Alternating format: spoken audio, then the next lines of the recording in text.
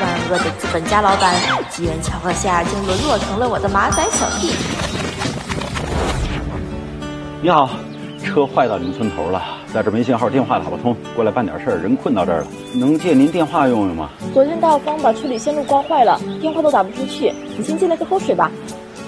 哎，谢谢。这是我名片，请问你们村是附近有什么能过夜住宿的地方吗？原来他就是全市的大 boss，复仇的机会来了。有啊，我家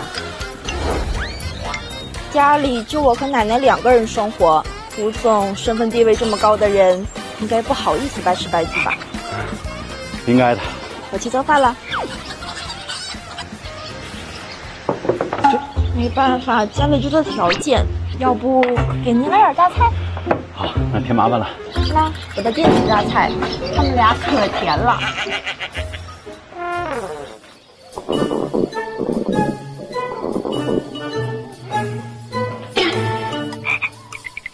哦，好困睡了。我奶奶不见了，都怪我没有看好她。你去那边，我去那边找。好。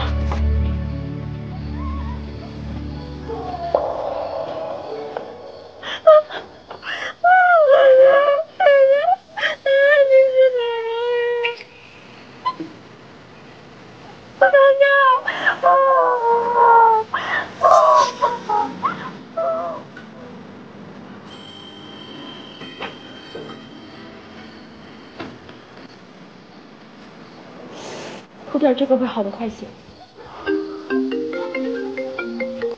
哎，这新屋村，哎，车坏到这儿了，你赶紧过来接我。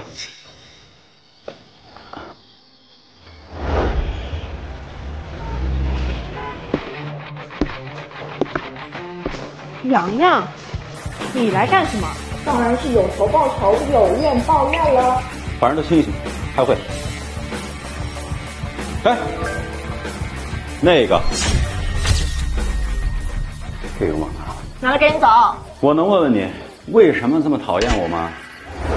这个项目你不用跟了。凭什么？这个项目我跟了半年，眼看着就要完成了。难道你没有听说过胡总女朋友的传闻吗？这都是我男朋友的意思，他舍不得我辛苦，所以只能委屈你了。哎呀，不要意气用事啊！这种徇私舞弊的领导不值得为他卖命。那你带着奶奶以后怎么生活呢？大不了回家种地。走，带上奶奶，帮你讨说法去。胡总，你听我解释，胡总，胡总，你听我解释。以后谁再在公司里造谣的，跟这个一下。对了，给大家介绍一下公司的新创意部总监洋洋。谢谢回屋以后别干什么马虎屁事就行。